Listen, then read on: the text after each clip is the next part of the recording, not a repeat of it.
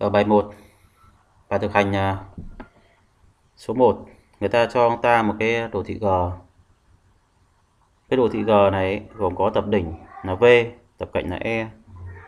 Thế và người ta yêu cầu ông ta là hãy biểu diễn cái đồ thị này bằng một cái ma trận kề thế và các cái nút trên đồ thị biểu diễn các số nguyên được đọc vào từ một cái tệp, từ một cái tệp văn bản ấn nút trên đồ thị. Các à, cạnh cũng vậy, chúng ta sẽ nhập vào từ một cái tệp văn bản.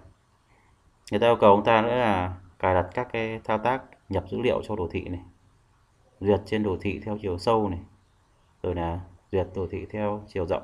Đấy chứ chúng ta làm bài một đó thế như vậy rằng là bài một chúng ta sẽ phải làm hai cái pha. Cái pha thứ nhất là chúng ta đọc các cái tập đỉnh và tập cạnh từ một cái file văn bản. Ờ, đọc vào các cái biến, đọc vào các cái biến, lưu trữ dữ liệu. Thế cái pha thứ hai là từ cơ sở là dữ liệu đầu vào, là một cái đồ thị, gồm có tập đỉnh, tập cạnh, đóng vai trò là input, dữ liệu đầu vào. Thế thì ờ, chúng ta hãy cài đặt hai cái thuật toán là tìm kiếm theo chiều rộng theo chiều sâu và theo chiều rộng. Thế kết quả của chúng ta đấu ra của cái thuật toán theo chiều rộng là một cái là một cái dãy văn bản hay là cái thứ tự thứ tự duyệt của các đỉnh trên đồ thị. À, theo chiều rộng. Thế và đối cả theo chiều sâu đối cả thuật toán theo chiều sâu thì chúng ta cũng được một cái thứ tự duyệt, có cho các đỉnh theo cái thuật toán duyệt theo chiều sâu. Thế cái pha mà đọc dữ liệu từ tệp văn bản, đọc cái pha mà đọc dữ liệu từ cái ờ, file văn bản vào cái bộ nhớ, vào các cái biến, đóng vai trò là đầu vào cho thuật toán, thì cái đấy chúng ta hoàn toàn có thể làm được. Và cái phạm vi đấy là nó thuộc cái phạm vi của kỹ thuật lập trình. À, lập trình C hay là lập trình nâng cao mà trong các cái học phần trước trong các học kỳ trước chúng ta được học. Thế thì cái đấy thì thầy không nói nữa chắc là các em cũng làm được. Thế còn cái pha thứ hai là cài đặt thuật toán tìm kiếm theo chiều rộng rồi là thuật toán tìm kiếm theo chiều sâu trên cái đồ thị vô hướng này. Thì cái đó cái đó là cái phạm vi của học phần này thế bây giờ, để làm được cái bài tập này, thì có lẽ rằng là thầy phải nhắc lại cách cách mà cái biểu diễn một cái đồ thị. Để biểu diễn đồ thị thì ờ, trong cái nội dung học phần này chúng ta có hai cái phương pháp. Đó là cái phương pháp sử dụng cái ma trận kể để biểu diễn cho một cái đồ thị không có trọng số. Cái phương pháp thứ hai là chúng ta sử dụng cái danh sách lân cận kề. Danh sách lân cận kề để biểu diễn cho cái mặt, cho cái đồ thị. Vô hướng, không có trọng số. Cái đồ thượng, đồ thị vô hướng là cái đồ thị mà nó không, mà mỗi một cái cặp là cạnh là v từ u đến v thì nó cũng đóng vai trò là cái cặp cạnh từ v đến u, nó là một. Tức là không phân biệt cái thứ tự đâu là đầu vào, đầu ra đối với cả một cái đỉnh. Không phân biệt thứ tự trong một cạnh không phân biệt thứ tự, đỉnh đứng đỉnh đầu hay đỉnh cuối. Cái đấy đấy là cách biểu diễn ma trận. Chúng ta có hai phương pháp. Phương pháp thứ nhất là bảng ma trận kề thứ hai là danh sách lân cận kề danh sách cân định kề thế còn đối với cả, đối, nếu như một cái đồ thị của chúng ta mà nó có trọng số, thì chúng ta phải sử dụng cái ma trận trọng số. Đấy. rồi là danh sách nhân cận kề có trọng số. Thế bây giờ, trong đề bài này, người ta yêu cầu chúng ta là sử dụng cái ma trận kề để biểu diễn cái đồ thị g. Ma trận kề biểu diễn cái đồ thị g là đồ thị vô hướng và không có trọng số. Thế bây giờ ta lấy một cái ví dụ như này. Giả sử như là ta mà có một cái đồ thị gồm có 8 đỉnh và có 9 cạnh Đấy, như vậy chúng ta sẽ có đây. Đây là một cái đồ thị này. Đấy. số đỉnh của ta là n đi. Số đỉnh nhá.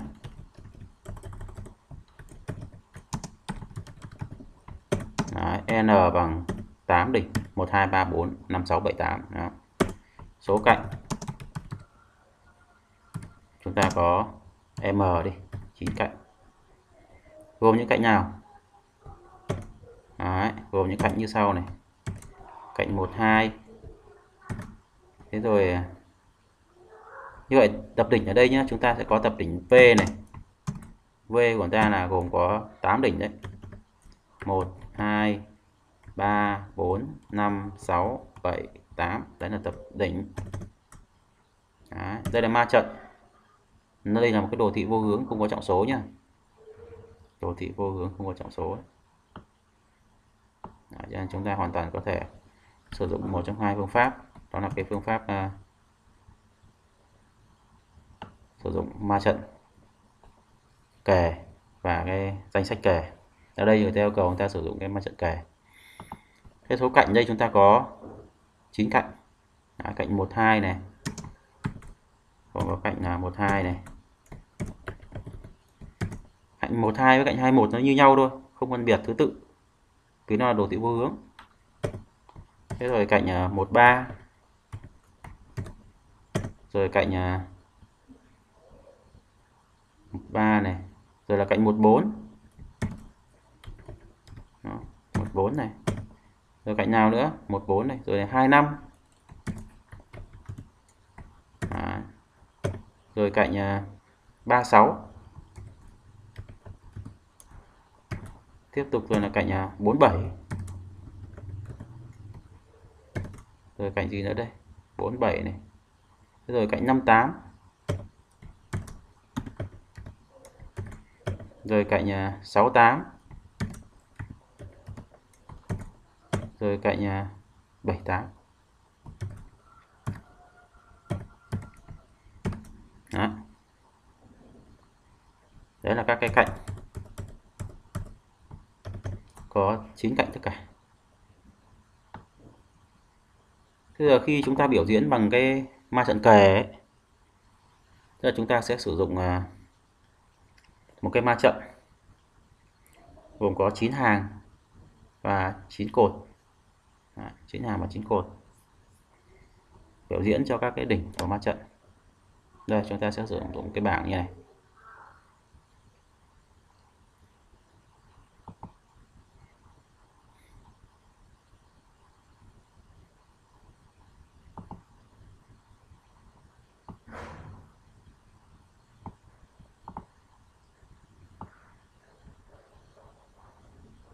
Chín hàng và chín cột nhé một hàng này. Một cột, hai cột.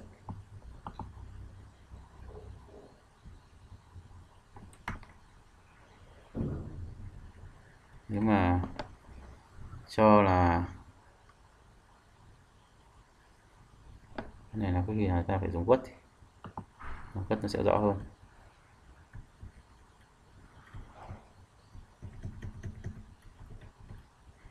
Ta lập một cái bảng. 9 hàng 9 cột. À, cả cái ký hiệu cho đầu hàng đầu cột nữa thì ờ, ta phải nhầm 10 hàng 10 cột đi. Bởi vì nó bản thân là à đâu có mấy đỉnh nhỉ? Có 8 đỉnh. 8 đỉnh thì ờ, chúng ta cần 8 hàng 8 cột. Thế và cả cái tiêu đề nữa thì chúng ta sẽ có là 9 hàng 9 cột. À, 9 cột.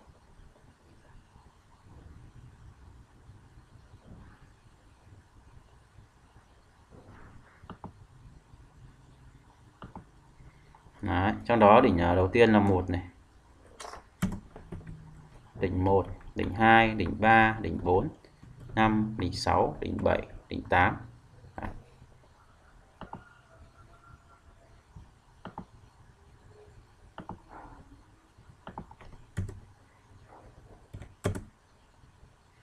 Đấy, 8 đỉnh. Từ đỉnh 1 đến 8 1 2 3 4 5 6 7 8 Đấy, như vậy chúng ta sẽ có một cái ma trận 8 hàng và 8 cột. 8 hàng và 8 cột.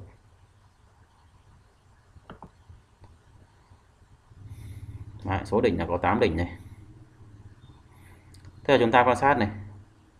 Tất cả những cái đỉnh đây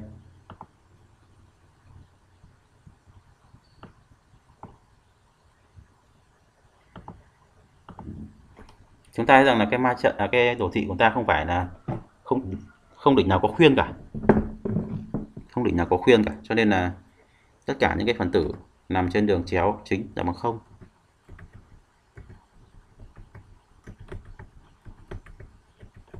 Thế nếu có khuyên thì chúng ta phải gán là một. Trong trường này không có khuyên, nên ta gán bằng không. Thế chúng ta quan sát này. Đi từ đỉnh 1 đến tất cả các đỉnh còn lại có cạnh nối với nó không? À, tức là chúng ta cần lượt kiểm tra những cái đỉnh này, này. Có phải là đỉnh kề với đỉnh 1 hay không? Một đỉnh được gọi là kề với đỉnh 1 nếu như tồn tại cạnh giữa nối giữa đỉnh 1 và đỉnh đó thì đấy là đỉnh, đỉnh kề. Thế là đỉnh 1 đỉnh 2 có phải đỉnh kề một không? À có bởi vì là có cạnh 1 đến 2 đúng không? Có cạnh từ 1 đến 2 trên chúng ta sẽ gán cho nó một đỉnh 3 có phải đỉnh kề một không? Chúng ta thấy là 3 có này, vì tồn tại cạnh từ 1 đến 3 chúng ta gán là 1. đỉnh 4 có phải đỉnh kề, đỉnh 1 không? Chúng ta thấy rằng có bởi vì là tồn tại cạnh từ 1 đến 4 trên chúng ta gán cho nó giá trị 1 thế cái đỉnh 5 đỉnh 5 chúng ta thấy là không tồn tại cạnh tối từ 1 đến 5 trên chúng ta gán cho giá trị 0 tương tự như vậy 6 không có cạnh nối từ 1 đến 6 trên chúng ta gán 0 đỉnh 7 1 đến 7 thì không có cạnh nối từ 1 đến 7 chúng ta gắn không. Tương tự như vậy 8 là không. Cái đỉnh 2 đến đỉnh 1 có không? À như vậy chúng ta nhớ rằng là cái việc mà chúng ta chúng ta chỉ gắn tất cả những cái đỉnh ở bên, nằm bên bên bên bên trên đường chéo chính là thôi. Thế còn bên dưới đường chéo chính thì chúng ta chỉ được lấy đối xứng nó ra là xong. Bởi vì chúng ta rằng là đồ thị chúng ta đồ thị vô hướng.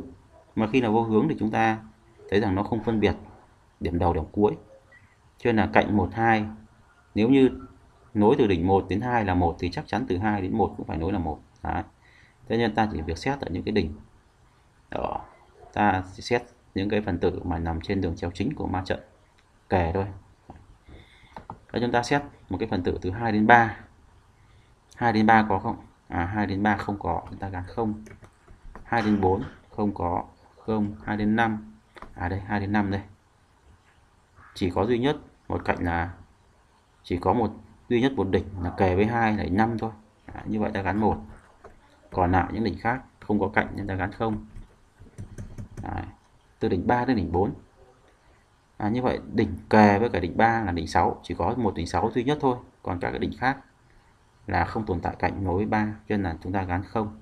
Cạnh 34 là không này 35 là không có cạnh này 36 là có cạnh nên để là một 37 không có cạnh không có cạnh 37 không không có cạnh 38 nên ta để không. Chúng ta xem cạnh 45 45 à cái cạnh 45 như vậy cái đỉnh kề với bảo 4 là 7 cho nên chỉ có cạnh 47 chỉ có cạnh 47 thôi. Từ 4 đến 7 thôi. Thế còn các cạnh 45 không có. Không có cạnh 45 không có cạnh 46 và không có cạnh 48 không có cạnh 48 à, tiếp tục này. Xét đỉnh 5 đến nối đến các cạnh, các đỉnh khác. Đỉnh 5 này, có duy nhất một đỉnh 8 thôi, là kề với cả 5 nên ta để 58 là 1 còn các cạnh khác 56 là 0 không có cạnh 56 không có cạnh 57 xét tiếp đỉnh 6 xét tiếp đỉnh 6 này. Chúng ta có cạnh 68 Đấy, như vậy chỉ có duy nhất cái đỉnh 8 là kề với 6 thôi. cho nên chúng ta để là 68 có cạnh 68 nên để là một. Thế còn các cạnh khác như là cạnh 67 có không? 67 không có để không. À, tiếp tục này. Từ đỉnh 7 nối các đỉnh khác. Thì chúng ta thêm từ đỉnh 7 nối đỉnh 8 có đỉnh 8 là cạnh kề 7 cho nên ta để 78 là một. Thế còn các cái cạnh nối từ 2 đến 1 này rồi này 3 đến 1 3 đến 2 thì chúng ta chỉ được lấy đối xứng từ các đỉnh trên đó thôi Đấy, 2 đến 1 này thì đối xứng ra vì nó có 12 rồi nên chắc chắn phải có 21 Đấy rồi là 31 thì bằng 1 3 rồi 32 thì bằng 23 3 23 bằng mấy ạ? Bằng 0. Bên là 32 bằng 0 thế này. 23 bằng 0. Đó. Thế còn là hàng 4 thì 41 này, 41 bằng 14. Đấy. 41 thì bằng 14. 4 là 1 thì 1 41 cũng là 1. 42. 42 thì lại bằng 24. đây 24 là 1. Đó, cho nên 42 42 24 thôi chứ 24 là 0 24 là 0 đó cho nên nó bằng 42 42 đây phải bằng lại không đó. thế còn à, 43 43 thì bằng 34 đây 34 đây đó. 43 bằng 34 43 34 thì không cái này không. Cái tiếp theo nữa. À, rồi gì nữa đây? 51 thì bằng 15 15 bằng 0 cho nên 51 bằng 0 à, 52 52 bằng 25 25 bằng 1 cho nên là 52 bằng 1 thế còn à, 53 53 thì bằng 35 35 bằng 0 cho nên là 53 cũng bằng 0 54 thì bằng 45 45 bằng 0 cho 54 cũng bằng 0 tiếp tục 6 61 thì bằng 16 16 bằng 0 nên là 61 bằng 0 rồi 62 thì bằng 26 26 bằng 0 nên 62 bằng 0 này. 63 36 là 1 nên 63 cũng là 1 64 thì bằng 46 46 là 0 nên 64 là 0 65 thì bằng 56 56 là 0 nên 55 bằng 0 Đấy. tiếp tục là, là, là 71 thì bằng 17 17 là 0 Đấy, tương tự đã có.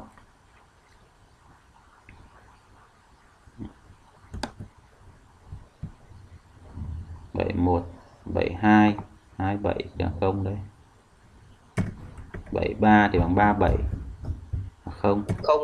Rồi bảy một. bảy bốn đúng bằng bốn bảy. Bốn bảy là 1 đúng rồi. Bảy năm thì bằng năm bảy. Năm bảy là không. Nên bảy năm là 0 này. 76 thì bằng 67 67 là 0 trên là 0 Đấy. 81 bằng mấy đây?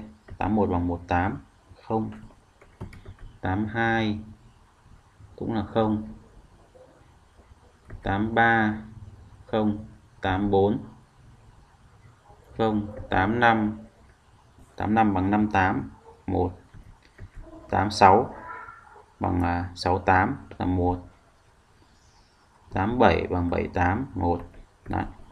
Đấy, như vậy chúng ta thu được một cái ma trận như thế. Ma trận này được gọi là ma trận kẻ những cái ô mà có giá trị bằng một tức là tồn tại cạnh nối giữa các đỉnh đó với nhau.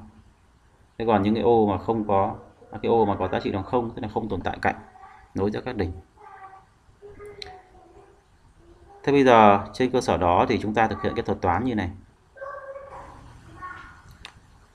Ở cái thuật toán này ấy, thì ờ, chúng ta sẽ thực hiện là theo các cái bước như này.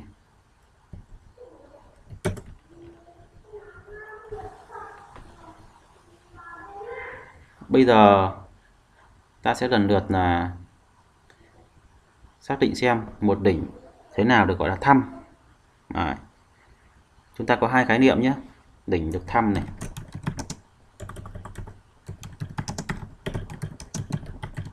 Đấy. và đỉnh được xét.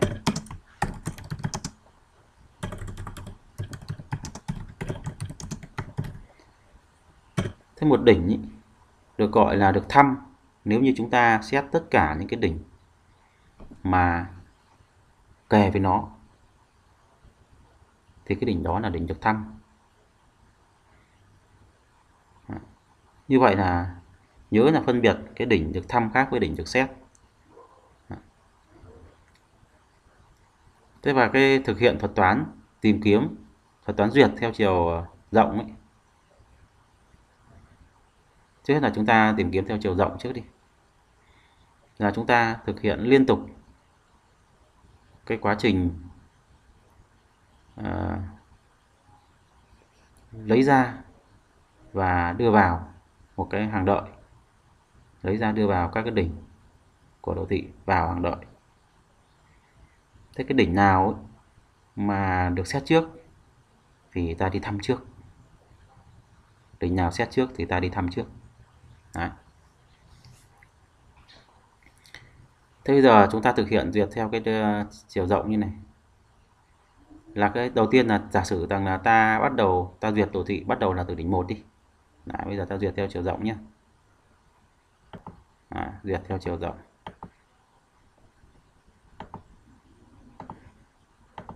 Rồi ta duyệt theo chiều rộng trước.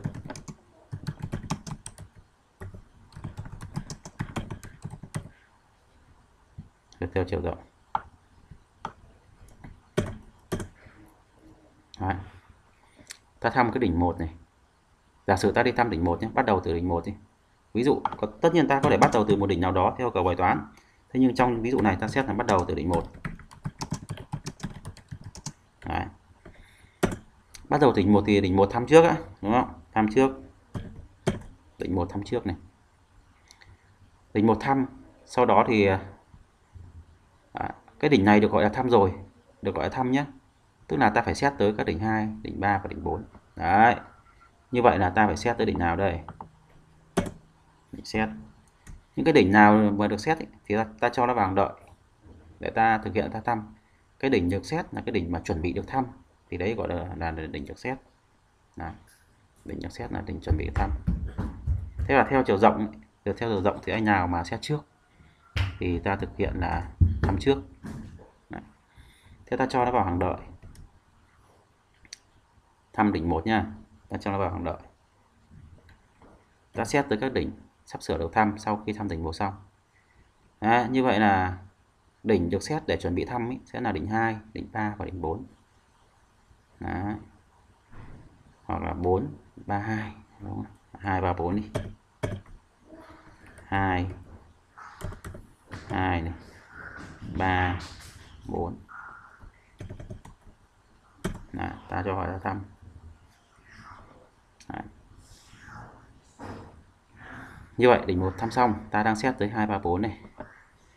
Thế và trong ba cái đỉnh này thì đỉnh nào sẽ được lôi ra để thăm trước.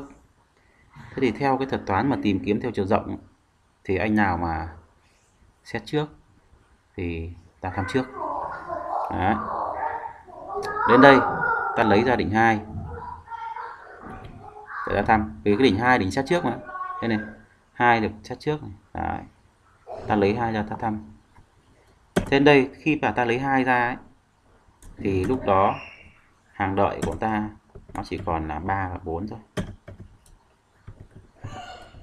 hàng đợi của ta chỉ còn 3 và 4 này thế cái đỉnh 2 mà được gọi là thăm rồi nếu như ta xét tất cả những cái đỉnh lân cận của nó để cho nó các đỉnh lân cận đấy các đỉnh kề với nó để các đỉnh kề của nó được gọi là chuẩn bị thăm. À, như vậy là ta phải xét đến đỉnh mấy đấy đỉnh 5 là đỉnh kề với hai. Thì năm mà là kề với hai là được coi là được xét. Một đỉnh được coi là được xét. Thì ta mặc nhiên gán cho cái đỉnh đấy vào hàng đợi để chuẩn bị thăm. À, như vậy là đỉnh 5 ta bổ sung vào. Đấy hàng đợi thì đương nhiên ta bổ sung là ta bổ sung vào cuối hàng đợi mà. Xóa thì xóa ở đầu hàng đợi Đấy. như vậy hàng đợi lúc này chúng ta sẽ có 3 phần tử 3 4 5 Đấy. thế đây, sau khi ta thăm hai xong rồi, Đấy. thì ta lại tiếp tục lấy ra một đỉnh để ra thăm tiếp Đấy. lấy ra một đỉnh, tức là loại bỏ một cái phần tử ở đầu hàng đợi ra thế vào đầu hàng đợi lúc này chúng ta sẽ có đỉnh là đỉnh 3 đây, là đầu hàng đợi ta lấy ra ba lấy ra ba nhé lấy ra ba rồi. Thì ta thực hiện tiếp tục này. Lấy ra ba bước thứ nhất nhật một này. bước thứ hai. Tiếp tục. Ta lấy ra 3 thì hàng đợi lúc này sẽ chỉ còn lại là 4 và 5 Đấy, 4 và 5 thế khi đỉnh 3 mà được thăm ấy đỉnh 3 được thăm. Đỉnh 3 được thăm. Điều đó có nghĩa rằng cái đỉnh 6 này phải được xét. Đó. ta thăm 3 thì đồng thời ta cũng phải xét 6 xét cái đỉnh lân cận với nó đỉnh kề với nó. À như vậy là thăm 3 3 bằng cách là ta nạp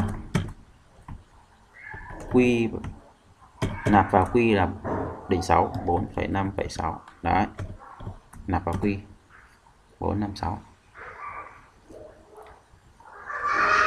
tức là 6 là kề 3 mà. 6 kề 3 cho nên là ta phải nạp 6 vào cho nó bằng đợi thì khi đó có nhiều thăm trong 3 Đấy. bây giờ ta tiếp tục lấy ra một đỉnh ở đầu hàng đội để ta thăm. Lấy ra một đỉnh ở đầu hàng đội chứ là lấy ra đỉnh 4 lấy ra đỉnh 4 Đấy. lấy ra đỉnh 4 thì ta thực hiện là lúc này quy chỉ còn lại hai phần tử 5 và 6 thôi. Đấy. 5 và 6 này lấy đỉnh 4 ra này thì trong hàng đợi của chúng ta chỉ có 5 và 6 thôi. Đấy 4 ra thăm. Chỉ có hàng đợi 5 và 6 bây giờ ta thực hiện là thăm 4 thăm 4 bằng cách là à, thăm 4 đây. Thăm 4 bằng cách là gì? Bằng cách là ta xét 7 cái việc mà ta xét 7 tức là ta nạp 7 vào hàng đợi. Như vậy như vậy chúng ta sẽ có quy hàng đợi của chúng ta sẽ là 4 5 6 và 7 Đấy tiếp tục. Ta lại lấy một đỉnh ra để ta thăm. Thì khi lấy một đỉnh ra thăm ấy thì ta lấy đỉnh ở đầu hàng đợi. Tức là lấy chứ thăm 4 thì chúng ta phải bỏ 4 đi rồi thăm mấy nhỉ? Thăm 4 thì bỏ 4 đi chứ. Cái này phải bỏ 4 đi. À, thăm 4 chúng ta phải kết nạp 7 vào. À, như vậy hàng đợi ta lúc này sẽ có 3 phần tử 5 6 7 bây giờ chúng ta lấy một đỉnh ra ta thăm tức là lấy đỉnh 5 đỉnh ở đầu hàng đợi. Lấy đỉnh 5 ra ta thăm. Cái việc thăm đỉnh 5 ấy, tức là ta xét tất cả những cái đỉnh kề với đỉnh 5 kề đỉnh 5 là đỉnh nào ạ? Đỉnh 8 này. Đỉnh 2 này. Đỉnh 8 và đỉnh 2 thế nhìn 8 và 2 đã đã xét chưa? 8 và 2 đã thăm chưa? Đã xét chưa? Đấy. thế đồng nghĩa rằng là lúc là lấy 5 ra nhá. Lấy 5 ra thì hàng đợi chúng ta nó chỉ còn những phần tử thôi lúc này hàng đợi chúng ta chỉ còn là 6 và 7 thôi. Đấy. 6 7 thôi. Đấy. bây giờ ta mới thăm thăm đỉnh 5 bằng cách này. Ta thăm bằng đỉnh 5 bằng cách là ta xét tất cả đỉnh kề 5 là đỉnh 8 và đỉnh 2 kề với 5 là 8 và 2 tức là ta thăm 5 bằng cách là ta nạp các đỉnh kề với cả kề với cả 5 vào quy. 6 7 à, 6 7 nạp với cả nạp những đỉnh kề ở 5 và 2 nhưng mà vào quy. Nhưng mà vấn đề ra là, là chỗ là cái đỉnh nào ấy mà được xét rồi thì ta đừng nạp vào nữa. Về cái đỉnh đã, đã được xét rồi mà lại không có trong hàng đợi này không có trong hàng đợi này chắc chắn được thăm rồi. Đấy. nhiều đó có nghĩa một thăm, một đỉnh mà đã thăm thì chắc chắn là được xét rồi. Chúng ta để ý là đỉnh nào được xét rồi đây. Trong những cái đỉnh này thì đỉnh 8 là chưa được xét này. Đỉnh 8 chưa được xét này. ta nạp 8 vào. Thế cái đỉnh 2 đã được xét chưa? Đấy, đỉnh 2 được xét chưa? Chúng ta thấy này. Đỉnh 2 này. Đỉnh 2 được xét đây này. Đây này đỉnh 2 đã thăm rồi này đỉnh hai mà thăm rồi chắc chắn là được xét rồi. Nên là à, đỉnh hai thăm rồi này chắc chắn là được xét rồi. Nên không đạp vào nữa. Khi nó đã xét rồi thì không nạp nữa. À, không nạp nó vào quảng đợi. Như vậy chúng ta thăm xong năm tiếp tục chúng ta lấy ra một đỉnh ở hàng đợi ra để thăm. À, lấy một đỉnh ở hàng đợi ra thì lấy đỉnh nào đây? Lúc này ta sẽ lấy đỉnh à, đỉnh 6 Đấy. khi lấy đỉnh 6 ra ấy, thì hoàng đợi của chúng ta lúc này chỉ còn là 7 và 8 thôi đây này, bỏ 6 ra chỉ còn 7 và 8 thôi. nhớ lấy là lấy ở đầu hoàng đợi còn à, bổ sung tức là nạp à, xét một đỉnh thì tức là ta khi một đỉnh được xét ấy, là cái đỉnh đó sẽ được nạp vào hàng đợi và cuối hàng đợi khi lấy 6 ra thì à, ta chỉ còn đỉnh à, 7 và 8 thôi. Đấy, 7 và 8 thăm 6 Đấy, chúng ta 26 ở đây lấy 6 ra. Trong đợi chỉ còn 7 và 8 thôi. Thăm 6 bằng cách là ta nạp những đỉnh gì vào? Thăm 6 bằng cách là ta nạp đỉnh ờ, nạp đỉnh 8 nạp đỉnh 3 đúng không? Nạp đỉnh 8 nạp đỉnh 3 nhưng mà 8 có chưa? 8 có rồi. 8 có 8 xét rồi này. 8 có trong hàng đợi rồi xét rồi. Nên không cần nạp nữa.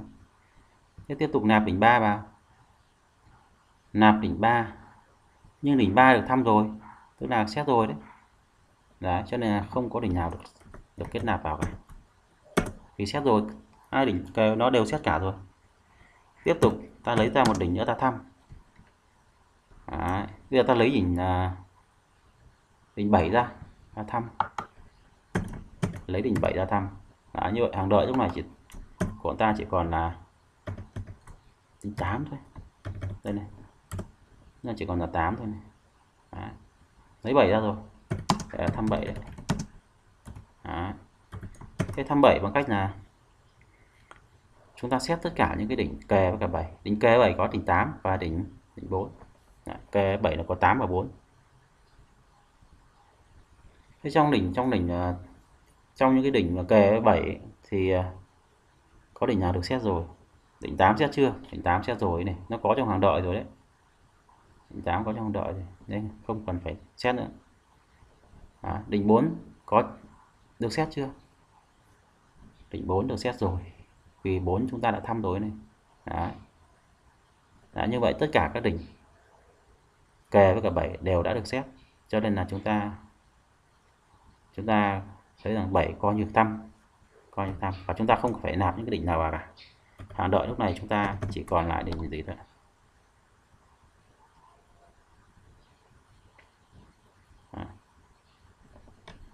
Hàng đợi lúc này chúng ta chỉ còn lại đỉnh 8 thôi. Không được là không còn đỉnh nào để mà nạp vào nữa, bởi vì các đỉnh khác, các đỉnh kề với nó đều đã xét hết rồi, nên không nạp thêm đỉnh nào nữa. Tiếp tục, ta lại thăm cái đỉnh lấy một đỉnh ở đầu hàng đội ra thăm. Là ta thăm đỉnh 8 lấy một đầu, một đỉnh đầu hàng đội thăm. Đấy. thế và khi mà lấy một đỉnh ra thăm, lấy 8 ra, thì tập quy lúc này, hàng đợi chúng ta lúc này rộng. Hàng đợi rộng. Và thăm 8 thăm 8 bằng cách là xét những cái đỉnh kè với nó. Việc xét các đỉnh kè với nó tức là ta bổ sung các đỉnh kè đấy vào hàng đợi. Đỉnh 5 đỉnh 6 và đỉnh 7 là kè với nó. Nhưng 5 chúng ta thăm rồi cho nên nó đã xét. 6 thăm rồi nên coi như nó đã được xét. Và 7 thăm rồi nên coi như nó được xét. Và khi nó đã được xét rồi thì ta không cần phải bổ sung vào hàng đợi nữa. Đó. Tức là khi mà đỉnh mà chưa được xét thì ta mới cần cho vào hàng đợi. Đấy, và lúc này hàng đợi chúng ta sống. Thế hàng đợi rỗng. Thì tức là chúng ta kết thúc thuật toán. Kết thúc thuật toán tại đó. Đấy. kết thúc thuật toán rồi. Như vậy chúng ta được một cái thứ tự thứ tự thăm hay là thứ tự duyệt. Theo thứ tự như sau. Bắt đầu từ đỉnh 1 ta thăm đỉnh 2 thăm đến đỉnh 3 đỉnh 4 đỉnh 5 đỉnh 6 đỉnh 7 đỉnh 8 đấy, là cái ví dụ để chúng ta hiểu thế nào là một đỉnh được gọi là thăm một đỉnh được gọi là xét thế quá trình đấy gọi là quá trình duyệt đồ thị duyệt đồ thị đây là quá trình duyệt theo chiều rộng hay gọi là duyệt theo cái dấu loang đấy. đấy. Thế bây giờ chúng ta đi vào cài đặt thuật toán. Bây giờ ta cài đặt. Đây là cái đoạn mà chúng ta cài đặt thuật toán này. Thế việc đầu tiên ấy, là khi cài đặt thì chúng ta khai báo các cái tệp tiêu đề để có thể sử dụng các cái hàm trong cái chương trình. Thế chúng ta có cái tệp thứ nhất là tệp stdo h này, tệp thứ hai là tệp conio.h và tệp thứ ba là tệp stlib h này. Cái tệp thứ nhất để chúng ta sử dụng các lệnh vào giao dữ liệu này cái tệp thứ hai để chúng ta sử dụng cái lệnh à, get để dừng màn hình trong kết quả đấy. Thế còn là cái tệp thứ ba là tệp stlib h này cái tệp là để chúng ta sử dụng các cái lệnh các phát bộ nhớ trong C ở đây chúng ta khai báo một cái số n lớn là cái số mà ma trận trọng là cấp của ma trận uh, ma trận kề cấp của ma trận kề Đấy. Thế cái này nó phụ thuộc vào cái số đỉnh của chúng ta nếu như là số đỉnh của chúng ta đồ thị của chúng ta lớn thì chúng ta nên khai báo cái con số này là lớn lên Đấy. và cái con số này thì bao giờ cũng phải lớn hơn cái số đỉnh thực tế của đồ thị Đấy thế bây giờ, để mà xây dựng được một cái đồ thị, thì chúng ta phải khai báo các cái nút trên đồ thị đó. Mỗi một cái nút ở trên đồ thị thì nó bao gồm có hai cái, có hai cái trường thông tin. Trường thứ nhất là trường data chứa dữ liệu của cái cái nút trên đồ thị hay cái đỉnh của đồ thị cái trường thứ hai là cái trường con trỏ à, cái trường con trỏ là điều gì? À, bởi vì chúng ta biết rằng là mỗi một cái đỉnh khi mà chúng ta xét là chúng ta đưa nó vào hàng đợi. Thế và một đỉnh mà được gọi là thăm ấy, nếu như cái đỉnh đó được lấy ra khỏi hàng đợi. Thế ở đây chúng ta sử dụng hàng đợi là một cái cấu trúc sử dụng con trỏ cho nên chúng ta cần phải có cái trường thứ hai là trường con chó nick, là trỏ tới cái phần tử kế tiếp trong cái hàng đợi đó.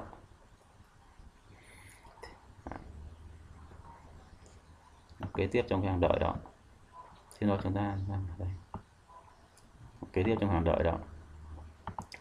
Sau đó là chúng ta định nghĩa một cái hàng đợi chúng ta định nghĩa một cái hàng đợi ở định nghĩa một hàng đợi thì hàng đợi thì bao giờ cũng được quản lý bởi con trỏ đầu hàng đợi và con trỏ cuối hàng đợi, đúng không? Đây. Con trỏ đầu hàng đợi và con trỏ cuối hàng đợi.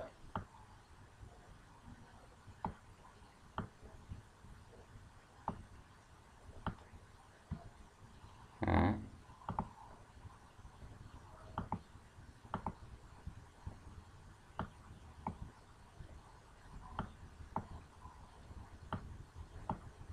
Cái con trỏ này là con trỏ đầu hàng đợi này.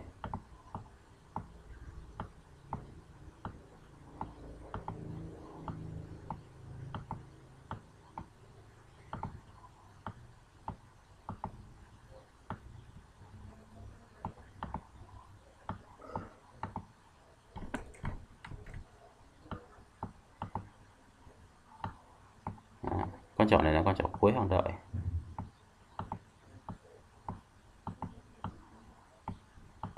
Đó, con trỏ này tôi ký hiệu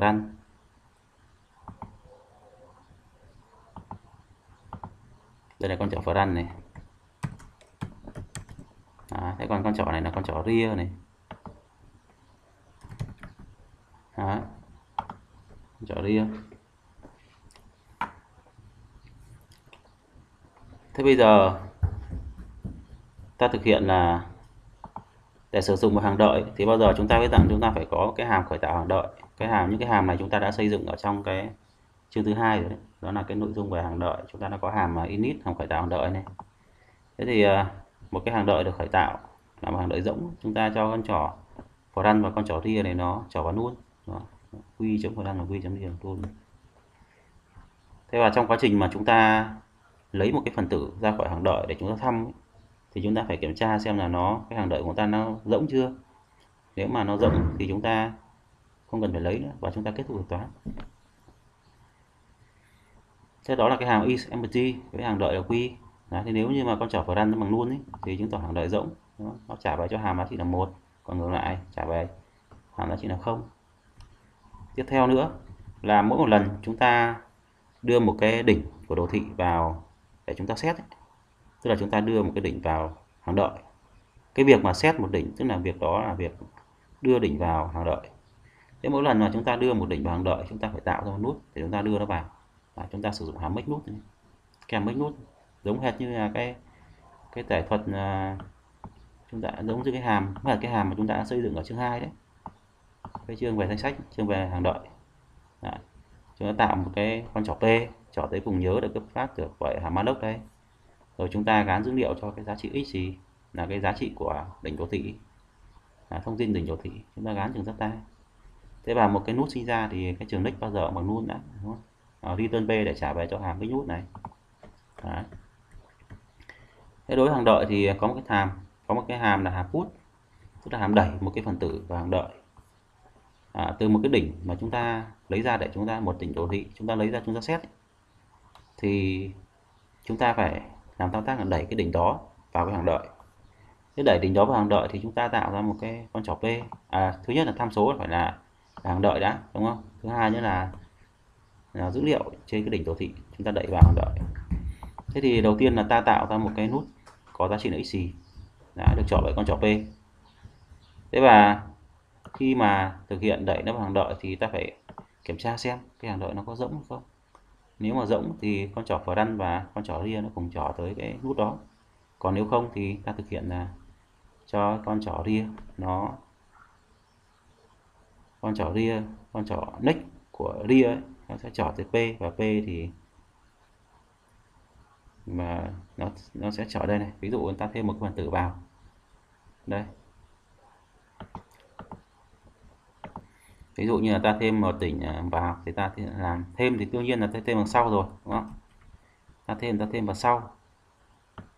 Ta thêm vào sau. Thế thì đương nhiên là ta phải cho ria next này ria next phải trỏ vào đây. Đó. rear next phải chọn ở đây.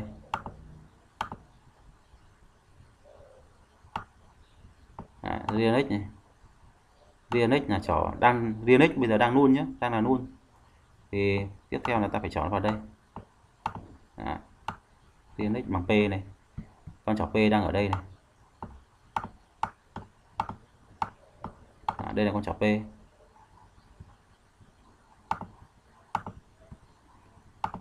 chỏ P. Đấy. P đang chỏ ở đây. Thế thì Linux Linux bạn đang bằng nun thì bây giờ nó cho làm bằng P tức là cùng chỏ vào cái nút nút P đây nút này. Đó thế sau đó thì con chỏ ria là cái con chỏ quản lý cái phần tử ở cuối danh sách. Cho nên là sau đó ta cho ria bằng p tức là ria lúc này không còn đây nữa. À, ria lúc này ta phải thực hiện là gì? Bỏ đi ở đây đi.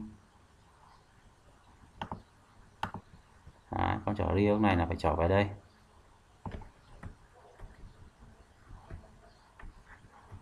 Đấy, con chỏ riêu này phải chỏ vào đây. À, con chỏ riêu này vào đây. Chỏ vào cái con à, vào cái phần tử ở cuối cùng của danh sách. Thế đây là thủ tục put nó vào. Còn cái thủ tục nữa là mỗi một lần một đỉnh ở trong cái hàng đợi này chúng ta lấy ra để chúng ta thăm thì chúng ta sẽ gọi hàng pop Đấy, hàng pop với cả cái tham số là hàng đợi quy hàng pop thế hàng pop thì thế nếu như mà cái danh sách của ta ấy, tức là cái hàng đợi của ta là rỗng rồi thì chúng ta cần phải có một cái giá trị để phân biệt với nó là giá trị trả về cho nó là rỗng. Hàm pop này thì giá trị hàm pop là cái hàm mà trả về giá trị. Trả về giá trị là dữ liệu của cái địch đồ thị có cái item này. Đấy. thế thì nếu như hàng đợi rỗng thì ta trả về giá trị là trừ một. Đẹp. Trừ một là cái giá trị đặc biệt nó không nằm nằm trong cái cái tập tập đỉnh của đô thị. Đấy. thế bây giờ trường hợp mà khác rỗng nhé. Đó, tức là hàng đợi của ta vẫn còn phần tử. Thì ta làm thao tác là pop nó ra bằng cách là gì? Ta cho à, đây ta khai báo một cái nút p nhá. Đấy, ta cho p bằng quy front. Đấy ta khai báo một cái nút p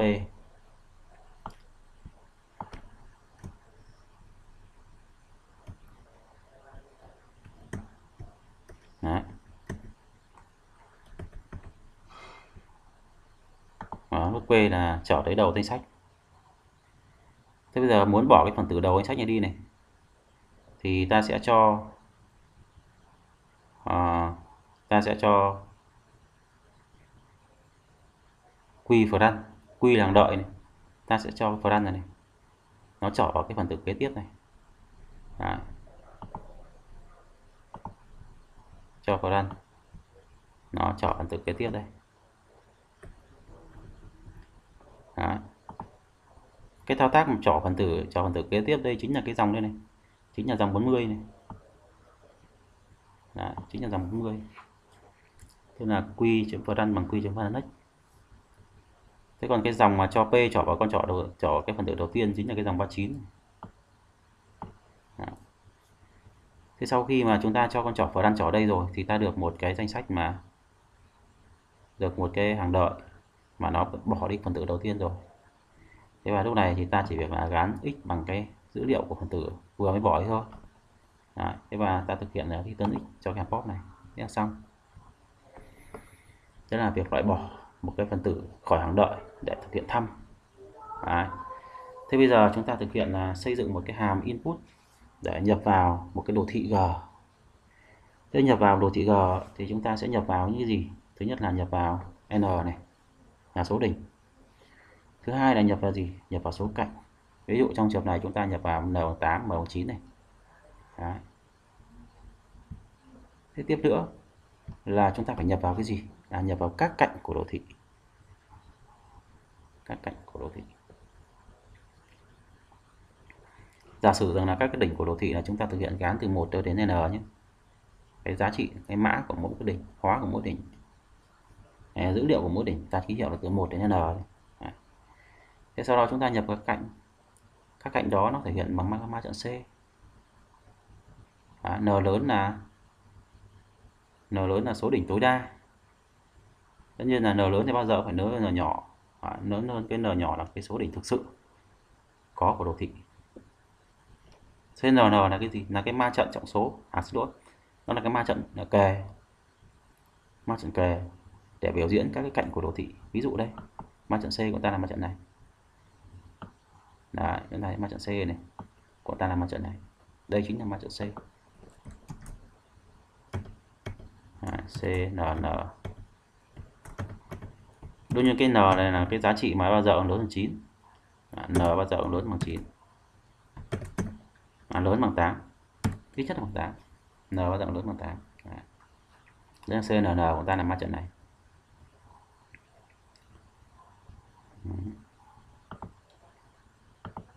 Thế bây giờ ta thực hiện này. Ta khai báo hai cái chỉ số đầu và chỉ số cuối. Tức là mỗi lần ta nhập một cạnh mỗi lần ta nhập một cạnh thì ta xác định đầu cạnh đó là đầu là đầu là đầu nào. Đó. cuối cạnh là đỉnh nào.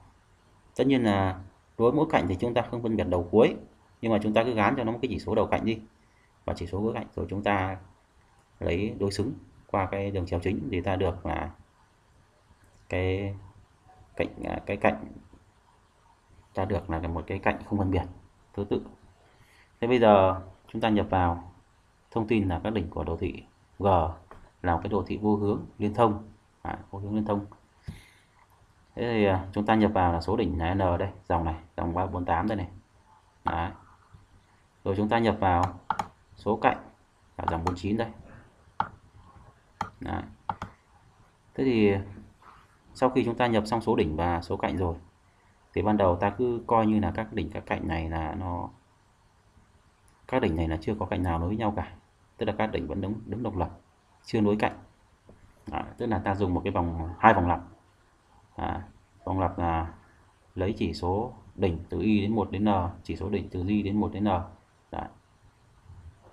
thế và ta thực hiện là gán xây y bằng không. Tức là trong trường này chưa có đỉnh nào được nối với đỉnh nào thế sau khi chúng ta có được cái ma trận khởi tạo được cái ma trận kề rồi thì ta thực hiện là nhập các cạnh cho nó theo nguyên tắc như này.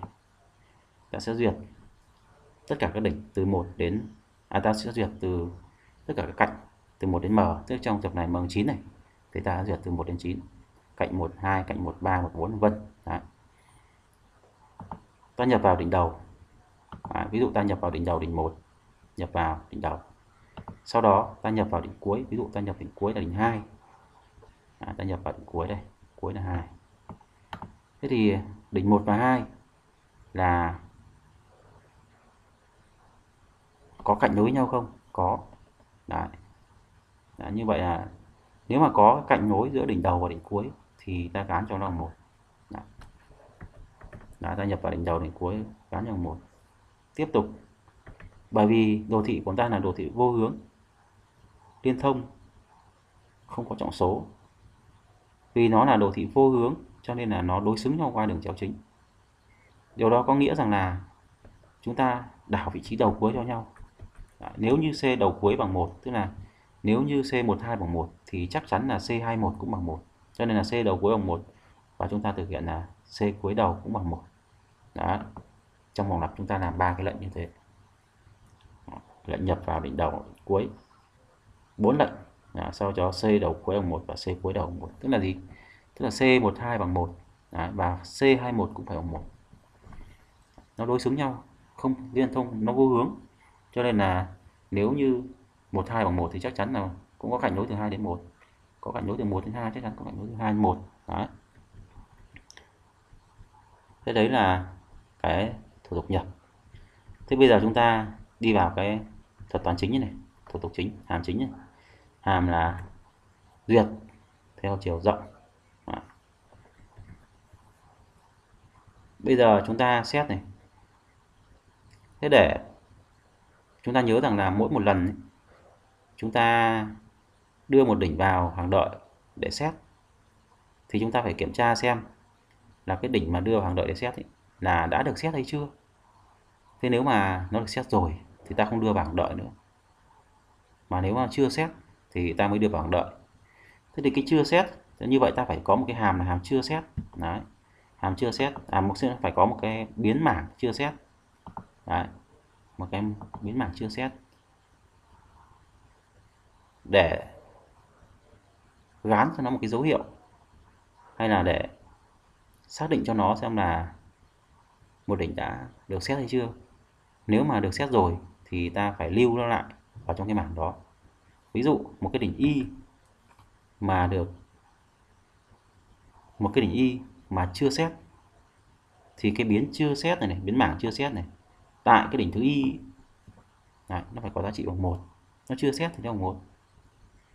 Thế còn nó xét rồi thì cái biến chưa xét tại đỉnh thứ y nó bằng không.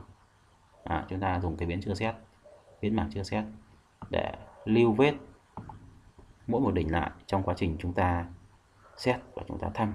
Trong quá trình chúng ta xét xét rồi thì lưu nó lại đánh dấu lại là đã được xét bằng cách là gán cho cái biến chưa xét tại cái đỉnh thọ, tại cái đỉnh thọ là bằng một là bằng bằng không. Đã. tức là ban đầu thì bằng một, nó chưa xét mà, nó bằng một. Thế còn nó xét rồi thì cho nó bằng không. Tức là biến chưa xét bằng không. Thế như vậy rằng là cái mảng, đây là một cái mảng có số phần tử chính là số đỉnh của đồ thị thôi, đúng không thế sau đó là chúng ta khai báo một cái biến u là một cái biến mà chúng ta dùng nó là cái biến u để chúng ta dùng nó để thực hiện là là đi thăm.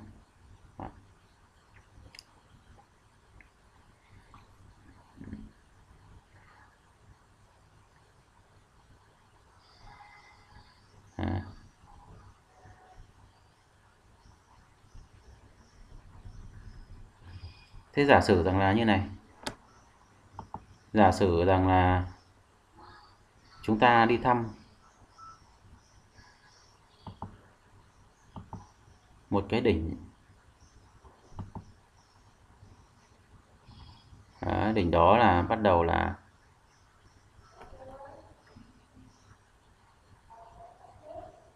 có cái giả sử như đỉnh bắt đầu của ta đỉnh start đi. Đó, tính bắt đầu. Đó, là định start. Thế thì cái biến u này nó sẽ đỉnh start là cái đỉnh ờ, bắt đầu đi. Đấy, đỉnh bắt đầu ví dụ đỉnh 1 chúng ta đỉnh bắt đầu bắt bắt đầu duyệt. Duyệt đồ thị bắt đầu từ đỉnh 1 thì, thì cái đỉnh đó đóng vai trò đỉnh start đây. Đấy, thế và chúng ta cho start đây. Đấy. u bằng đỉnh u là cái đỉnh uh, ờ, bắt đầu của đồ thị à, tham số truyền vào cho nó đến chính là cái tham số start này. Đấy, chúng ta cho u bằng start.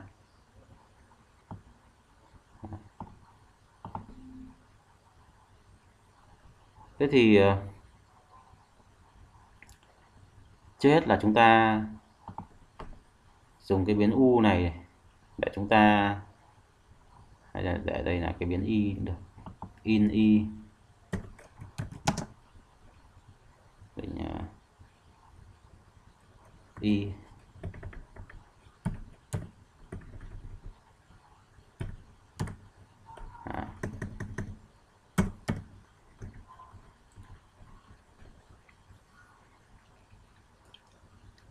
Thế bây giờ giả sử rằng là tất cả các đỉnh ban đầu các đỉnh chúng ta bắt đầu từ đỉnh U nhé, từ đỉnh start này, và ban đầu thì tất cả các đỉnh đều chưa được xét cho nên là chúng ta sử dụng vòng lặp để chúng ta gán cho tất cả các đỉnh này với cái biến chưa xét tại cái đỉnh đó. Có giá trị một tức là chưa xét mà chưa xét thì cái biến chưa cái biến ờ, chưa xét tại đỉnh y nó sẽ có giá trị bằng một. Như vậy là tất cả các đỉnh đều chưa xét. Đấy, sau đó tiếp theo này là chúng ta khởi tạo một cái hàng đợi để chuẩn bị xét các đỉnh. Mỗi lần xét thì đỉnh nào xét chúng ta đưa vào hàng đợi đỉnh nào được thăm thì chúng ta lấy ra hàng đợi. Đấy. thế sau đó là chúng ta ừ, thực hiện đây là chưa xét lần này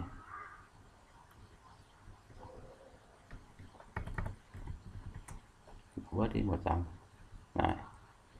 Đấy, bây giờ chúng ta bắt đầu thực hiện quá trình này Đấy. thế bây giờ chúng ta bắt đầu từ đỉnh uh, ờ, start này đỉnh bắt đầu à, đỉnh u đi u gắn bằng start này đầu tiên là ta nạp cái đỉnh u vào hàng đợi đã. Đấy, nạp vào trên chúng ta xét này nạp vào. Và ta, ta gắn chưa xét u bằng không. Đó tức là đỉnh u đã được xét rồi cho vào đợi là xét rồi đấy.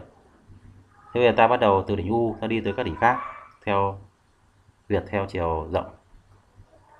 Thế thì à, cái việc mà chúng ta duyệt theo chiều rộng ấy, qua cái ví dụ vừa nãy chúng ta thấy rằng là chúng ta liên tục là lấy các đỉnh ra lấy đỉnh ra để thăm và đưa các đỉnh xét vào hàng đợi cái quá trình lấy ra nó kết thúc như vậy quá trình duyệt của nó kết thúc khi nào?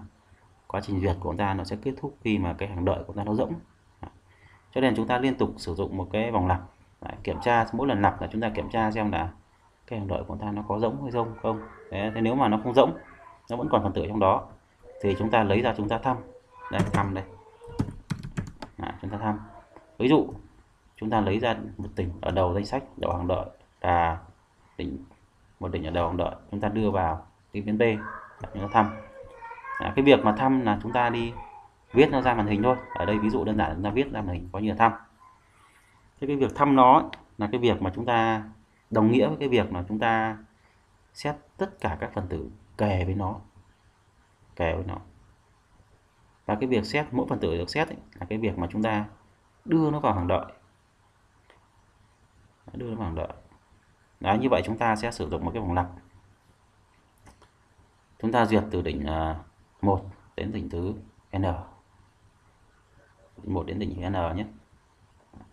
Tức là từ đỉnh đầu đến tiên đến đỉnh cuối cùng. Và mỗi một cái lần lặp như thế chúng ta kiểm tra xem là nó có tồn tại cạnh hay không. Cái việc mà tồn tại cạnh ý, tức là cái giá trị của cái mặt trận C Đấy, tại hàng P và của G tức là nếu như hàng P của G mà có giá trị bằng 1 thì nó tồn tại cạnh từ P đến G.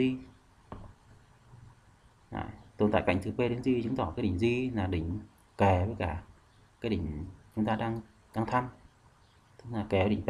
Đấy. Thế nếu mà kè rồi thì chúng ta mới đưa vào hàng đợi.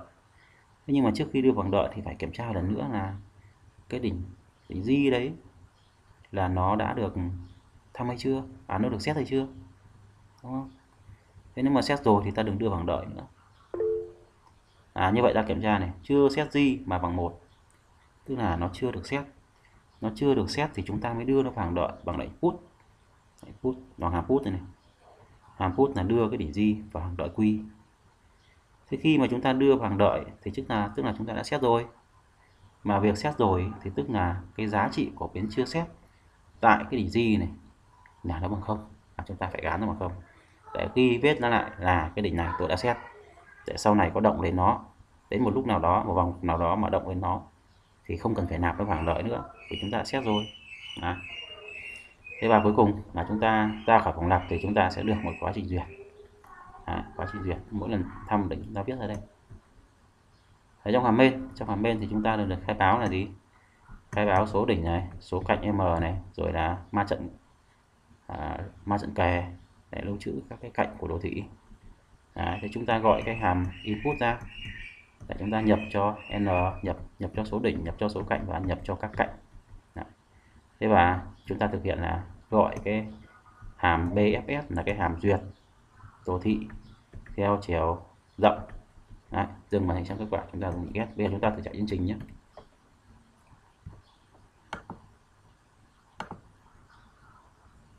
Đấy chúng ta nhập vào là số đỉnh của đồ thị này.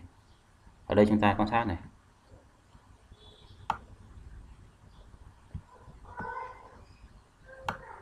Chúng ta quan sát là chúng ta có mấy đỉnh đấy có 8 đỉnh 1 2 3 4 5 6 7 8 này.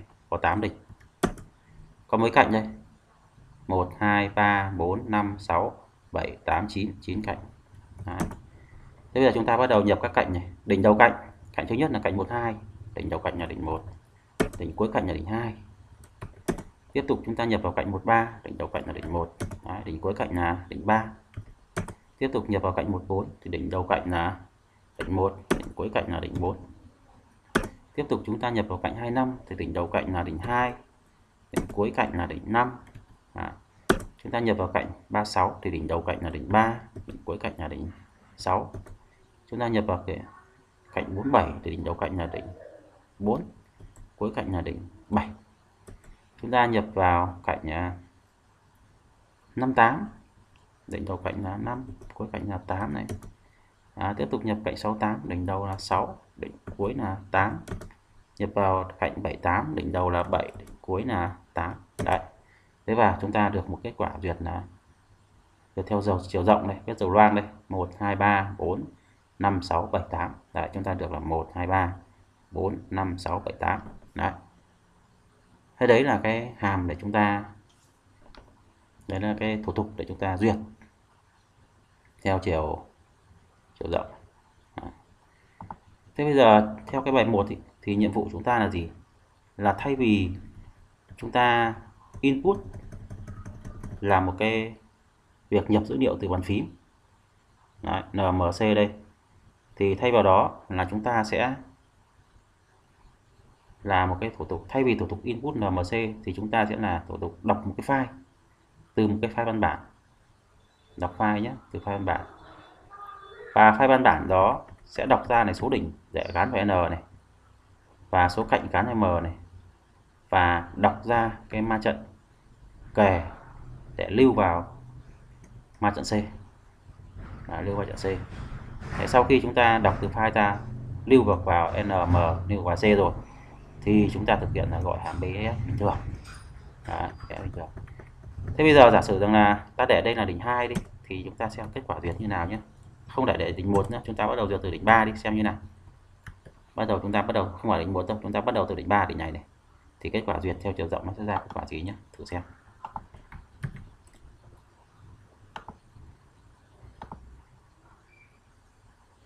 rồi 8 này 9 cạnh. 1 2 1 3 1 4 2 5 3 6 cạnh 36 cạnh 4 7 đây cạnh 5 8 cạnh 6 8 cạnh à, 7 8 Đấy, chúng ta được thứ tự duyệt là gì đây? Là 3 1 6 24857 Đấy. như vậy nếu chúng ta xuất phát từ đỉnh 3 thì ta được cái thứ tự duyệt nó là như này. 3 này xong uh, duyệt đến 6 thăm đến 6 này. À thăm đến 1 này. Xong rồi thăm đến 6 này. Xong rồi thăm đến 2 xong rồi thăm đến ờ, 4 xong rồi thăm đến ờ, 8 rồi thăm đến 5 thăm đến 7 đấy. Đấy là chúng ta xuất phát từ đỉnh 3 thế như vậy việc còn lại của chúng ta là thay vì là ta input như này thì bây giờ ta đọc file.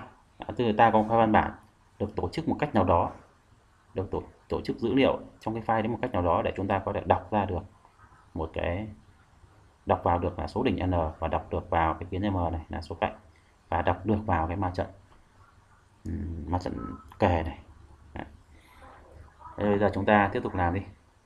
Thế còn là cái phần hướng dẫn của thầy thì đến đây là kết thúc đối với cả uh, tìm kiếm à, đối với cả duyệt theo chiều rộng cho một cái đồ thị liên thông vô hướng đồ thị liên thông vô hướng sử dụng cái ma trận kẻ để biểu diễn cho cái đồ thị đó.